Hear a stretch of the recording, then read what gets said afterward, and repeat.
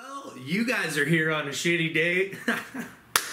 oh, just kidding. I had to make that joke. I thought that's kind of funny. Anyways, thanks so much for being here. Today we're talking about poop and how to go about your business when you live in a truck or a van or a bus or you're traveling around and you're a nomad and you gotta go. What do you do?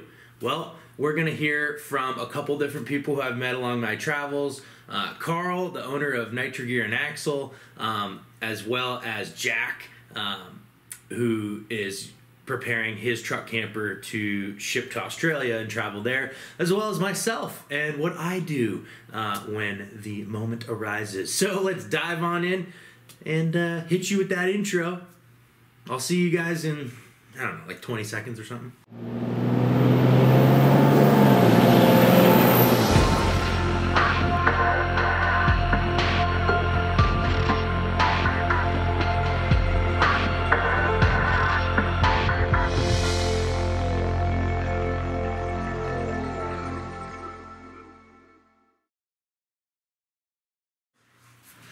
So I want to start by saying essentially there's five ways you can go do your business outside.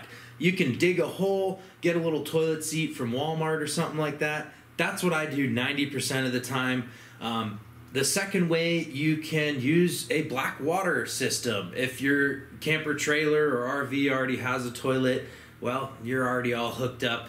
Um, but if you're willing to do any of those two, you probably wouldn't be watching this video. So there's three kind of mobile options that'll round out these full five for you.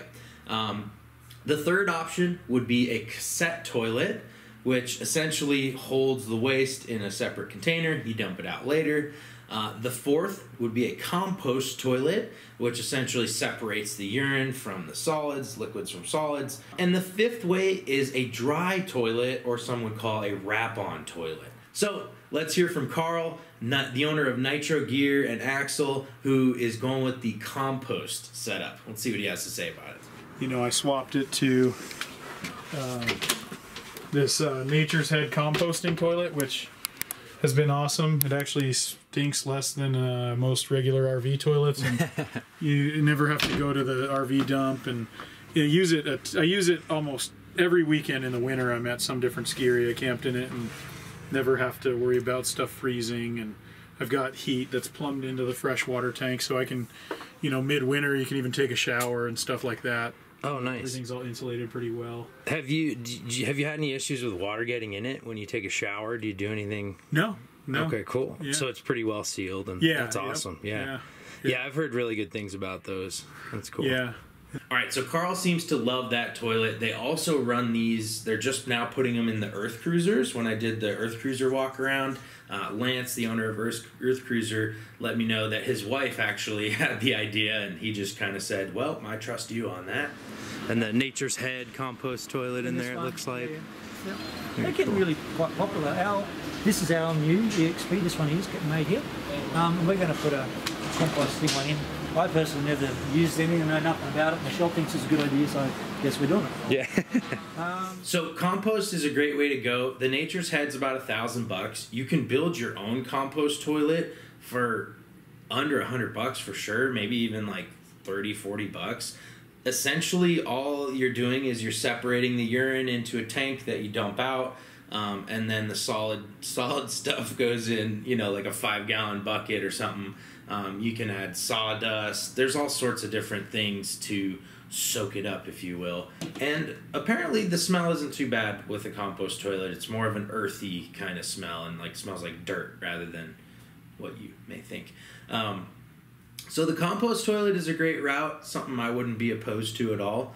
Um, but let's see what Jack has to say about the dry toilets.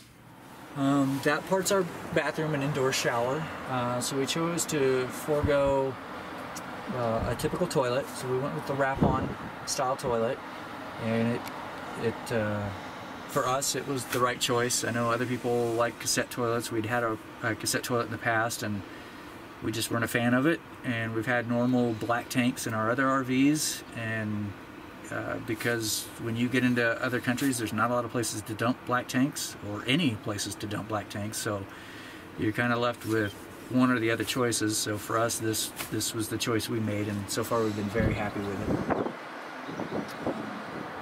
Yeah, I, I think this would be way better than a cassette toilet. Yeah.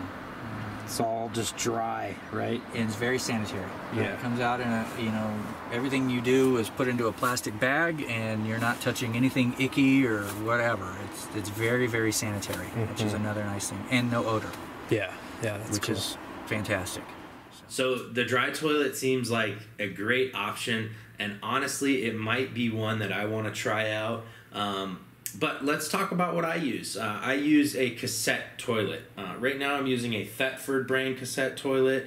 Um, the rig came with a Dometic cassette toilet, and as each cassette toilet, so essentially what a cassette toilet is, it's got a water tank um, up here. You got your little you know basin or whatever, and you got your tank at the bottom. So it's two pieces, and it can detach. And you take the bottom out, and that's what you dump out.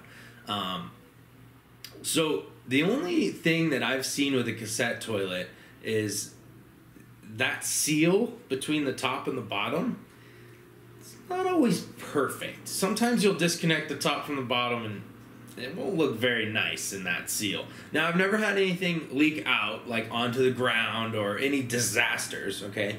But I will just say the cassette toilet is not the nicest thing to use. Now, even my little Thetford, you can go like 20, 30 times in this. And this is the smallest one you can get. But what's all that about? Oh, that's in there. Cool. Cool beans. Okay, first impressions. We got the little water sprayer out there. I like that. Better than the Dometic.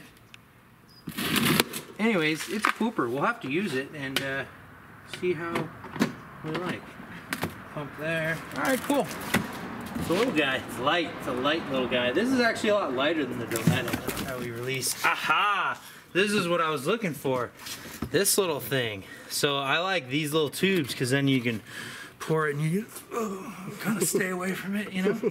Um, whereas with this one, take that and you got to be like right there. The cassette toilet isn't perfect. Uh, it's great for my rig. I will say the wrap on style toilet is the only toilet that we've been talking about that requires some power. Um, the compost toilets do have a fan to vent outside, uh, so they require a little bit of power. Um, so it's always good to have like mobile power in case you wanted to set up an outhouse or something like that if you're going to be staying somewhere for weeks at a time.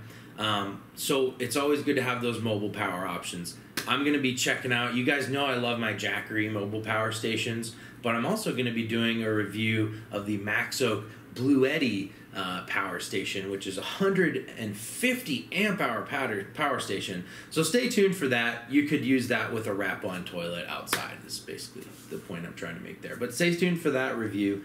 Um, so there's really, like I said, these five ways that you can go outdoors. Um, I think a lot of them have to do with comfort level as well as the space that you have available. Um, and at the end of the day, I kind of want to try out all of these ways. Um, to be honest, most of the time, I go dig a hole. I got my little Walmart toilet seat, and I'm, I'm comfortable with that. And I actually like that's way better than a cassette toilet if you've got the space and the privacy. Uh, the time that I used the cassette toilet the most was King of the Hammers. So this is we were there for four or five days, right? You're in a lake bed with eighty thousand other people. There's no trees to go hide behind and dig a hole. The nearest porta potty can be miles away from your camp. So literally, you have to have one of these kind of portable options to be comfortable. Um, I spent a year there in my rooftop tent in the Jeep, and it was it was bad. Uh, I just waited till the morning to do my business, and sometimes that was pretty no fun. Sometimes I was pretty uncomfortable because we'd be partying and eating a bunch. Anyways, it's great to have these mobile options. I wanted to talk to you about what I use um, and show some other people that I've met and their options. So I hope this helped. Uh, drop a comment. Let me know what you think. Let me know what you what you currently use, why you like it, uh, why you don't. Let me know some thoughts about this. Let's get a little conversation going about your business down there. because this is an ever kind of evolving thing, um, and it's something that you need to think about and you need to address if you want to build if, if you want to live a mobile lifestyle. Oh, and be sure to check the description for some links of these little toilets and gadgets that we talked here about today. Make sure you subscribe here so you don't miss any of this crappy talk from me. And uh, check out some of my other videos. I got tons of rig walk rounds um, with other folks I've met on the road. And uh, the Dodge should be out of the shop here any moment. Until then, I'm going to keep updating you guys with some fun videos like this. So I hope you enjoy. The question always is Are you down to mob? Yeah.